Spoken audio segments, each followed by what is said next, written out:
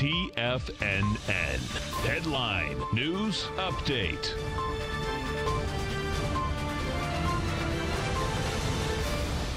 Good morning, everybody. I'm Tommy O'Brien, coming to you live from TFNN headquarters in St. Petersburg, Florida. 9 a.m. Eastern Time on Wednesday morning. 30 minutes to go until the opening bell. And we got futures in positive territory to start things off right now.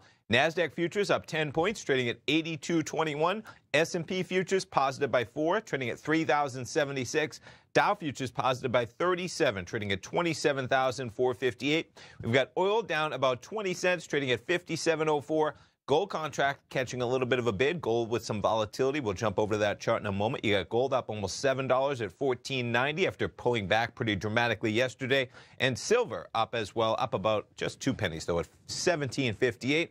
We'll start things off. Let's jump over to the VIX this morning. We'll start it off with the volatility index. A little bit of a spike to 1333, currently 1309. Very little volatility in context priced into this market, as you'd expect, as we're right near session, session, excuse me, all-time highs. Jumping over the charts, we'll start it off with the S&P 500. Currently trading 3,075 at about 5 a.m. Eastern Time. We were down there at about 3,068. Backing things up to yesterday's close. We'll find that bar. You close it at about 3,072 after reaching a high intraday of about 3,077. NASDAQ 100 trading at 82.19 right now. We were up as high as 82.27 overnight reaching a low of 82.09. Dow 30 trading 27,455, just climbed above where we were overnight. There's your crude oil market, made it as high as $57.28, currently just under that price tag as you have December crude trading at $56.97.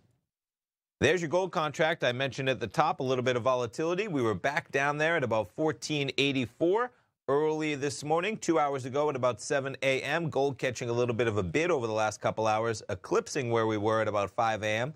Gold at 1490. Backing things up, though, for the context of yesterday. Quite a slide. You put that in terms of where we were just Tuesday overnight. We were up at 1508. You reached that low, so off of the session lows, above where we were overnight but still just basically where we were coming into that low that we had at about 10 a.m.